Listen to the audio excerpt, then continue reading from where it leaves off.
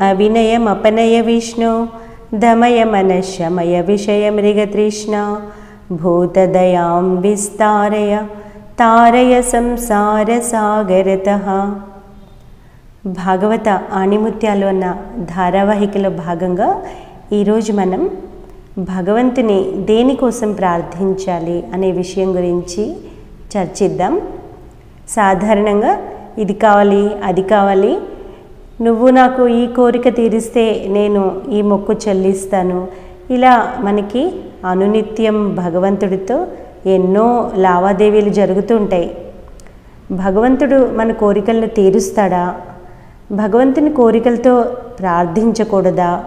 అని మనకి ఎన్నో ఇలా సందేహాలు కలుగుతూ ఉంటాయి పూర్తిగా ప్రాపంచిక జీవితంలో ఉన్నవారికి ఇది కావాలి అది కావాలి అని భగవంతుణ్ణి ప్రార్థించడంలో పెద్ద తప్పేమీ కనిపించదు. అదే భక్తి అని కూడా అనుకుంటారు. అయితే ఆధ్యాత్మిక జీవితంలో అడుగుపెట్టిన వారికి కొద్దిగా మనస్సాక్షి అడ్డుపడుతుంది. నేను చేస్తున్నది సరైనదేనా అన్న సందేహం కలుగుతుంటుంది. శ్రీమద్ భాగవతం రెండవ స్కంధం మూడవ అధ్యాయం పదవ శ్లోకం ఇలా అంటుంది. అకామ సర్వకామోవ మోక్షకామ ఉదారధీహి తీవ్రేణ భక్తియోగేన యజేత పురుషం పరం. ఉదారధీహి అంటే బుద్ధిశాలి అయిన మనిషి అకామహ ఏ కోరికలు లేనివాడైనా సర్వకామోవా చాలా కోరికలు ఉన్నవాడైనా మోక్షకామహ మోక్షకామి అయినా సరే తీవ్రైన భక్తి యోగైన తీవ్రమైన భక్తి యోగం ద్వారా యజేత పురుషం పరం ఆ పరమ పురుషునే అంటే భగవంతునే ఆరాధించాలి. అంటే ఒకవేళ కోరికలు ఉన్నా కూడా వీరిని వారిని ప్రార్థించడం కంటే భగవంతుడి మీదే ఆధారపడటం మేలు. మనం ధ్రువుడి జీవితం చదివినప్పుడు చూసాము ధ్రువుడు రాజ్యం కోసం తపస్సు చేశాడు. అయినా తీవ్రమైన భక్తితో భగవంతుని ప్రార్థించడం వల్ల భగవంతుని పొందాడు. ఆ తర్వాత అనుకున్నాడు బంగారాన్ని పక్కన పెట్టి ఈ గాజు పూసలకే అన్వేషించానా అని మదనపడ్డాడు. అంటే ఈ ప్రపంచంలో మనం కోరుకునేవన్నీ గాజు పూసలతో సమానం భగవంతుడు బంగారం వంటివాడు. ఈ మిరిమిట్లు గొలిపే గాజు పూసల్ని చూసి మోహపడి మనం బంగారం జాడని ఎరగట్లేదు. అయితే మనసులో ఇంకా కోరికలు ఇబ్బంది పెడుతూ ఉంటే ఏం చేయాలి? పదకొండవ స్కందంలో కృష్ణుడు ఒక చోట అంటాడు కామా హృదయ్యా నశ్యంతి సర్వే మై హృది స్థితే. అంటే మొదట్లో కోరికలు పూర్తిగా పోకపోయినా భగవంతుని కొలుస్తూ ఉంటే కోరికలు వాటంతటవే నాశనం అవుతాయి అని. కనుక నేను ప్రపంచంలో మునిగి ఉన్నాను. ఆధ్యాత్మిక జీవితం నా వల్ల కాదు అని భయపడిన అవసరం కూడా లేదు. వీరిని వారిని కాకుండా మనకు కావలసిన దానికి భగవంతుణ్ణి పట్టుకుంటే ఆయనే మనను దగ్గరకు లాక్కుంటాడు. కాకపోతే కోరికలతో భగవంతుని పూజించడం నిమ్న స్థాయికి చెందినది కిండర్ గార్టెన్ లెవెల్కి చెందినది. ఏ కోరిక లేకుండా భగవంతుని పూజించడం ఉత్తమ స్థాయికి చెందినది. ఈ విషయాన్ని మనం క్రమంగా తెలుసుకోవాలి. మనం ప్రహ్లాదుడి జీవితం చదివినప్పుడు చూసాము సాక్షాత్తు భగవంతుడే అతన్ని వరం కోరుకోమన్నాడు.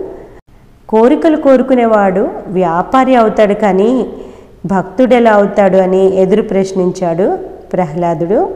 ఇంకా అన్నాడు ఈ కోరికల ద్వారానే కదా మానవునిలోని దేహం మనస్సు ప్రాణాలు ఇంద్రియాల్లో ఉన్న తేజమంతా హరించుకుపోతుంది. కోరికలను త్యజించినప్పుడే కదా మనిషి మోక్షానికి అర్హుడవుతాడు. కనుక నువ్వు నాకు వరం కా ఇవ్వాలనుకుంటే నాలో ఏ కోరికలు ఎన్నటికీ పొడసూపకుండా ఉండేలా వరమెయ్యి అని ప్రహ్లాదుడు నరసింహదేవిని ప్రార్థించాడు. ఒకసారి శారదాదేవి జైరాంబాటిలో శిష్య సమేతురాలై ఉన్నారు.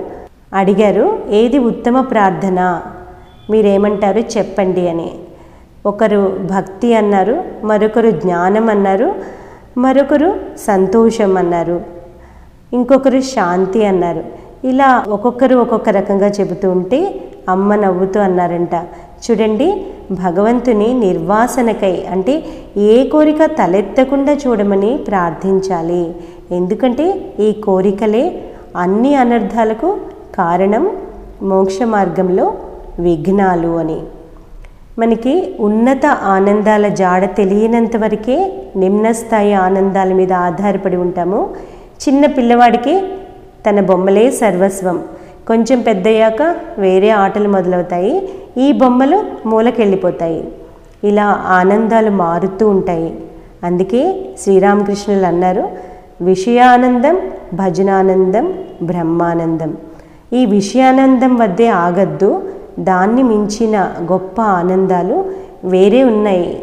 వాటి జాడ తెలిస్తే మీరు వీటిని వదిలేస్తారు అని.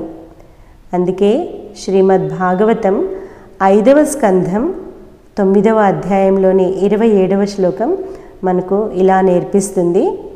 సత్యం దిశతి అర్థితమర్థితో నృణాం నైవార్థతో యత్ పునరర్థితాయత స్వయం విధత్తే భజతామనిచ్చతాం ఇచ్చాభిధానం నిజ పాదపల్లవం అంటే సకామ కర్మల ద్వారా భగవంతుని ఆరాధించిన మానవుల అభీష్టాలను ఆ ప్రభువు ప్రసాదిస్తాడు. అది వాస్తవమే. కానీ ఆ అభీష్టం నెరవేరగానే వారి మనస్సుల్లో కోరికలు తల ఎత్తుతాయి నైవార్థతో. కాబట్టి పెద్ద ఉపయోగం ఉండదు అదే నిష్కామ భావంతో భగవంతుని భజించిన వారికి. ఆయన నిజ పాద పల్లవం ఎంత చక్కటి మాట చూడండి. తన పాద పద్మాల వద్ద స్థానాన్ని ప్రసాదిస్తాడు. అప్పుడేమవుతుంది? దానివల్ల వారి కోరికల కొరత తీరిపోయి ఇక మీదట కోరికలంటూ ఉండనే ఉండవు. కనుక కోరికలతో భగవంతుని ప్రార్థించడంలో గొప్ప తెలివి లేదు. కోరికలు మళ్ళీ మళ్ళీ పుడుతూనే ఉంటాయి. ఏ కోరిక లేకుండా భగవంతుని పూజించినప్పుడే భగవంతుని పాదపద్మాల వద్ద స్థానం మనకి లభిస్తుంది. దానివల్ల ఇక మీదట కోరికలంటూ ఉండనే ఉండవు. మానవ జన్మ సార్థకమవుతుంది. ఆ స్థాయికి చేరేందుకు ప్రతి ఒక్కరూ ప్రయత్నించాలి. నాహం వందే తవ చరణయోర్ద్వంద్వమద్వంద్వహేతో कुम्भीपाकं गुरुमपि हरे नारकं नापनेतुं। रम्या रामा मृदुतनुलतानन्दनेनापिरन्तुं भावे भावे हृदयभवने भावयेयं महान्तम्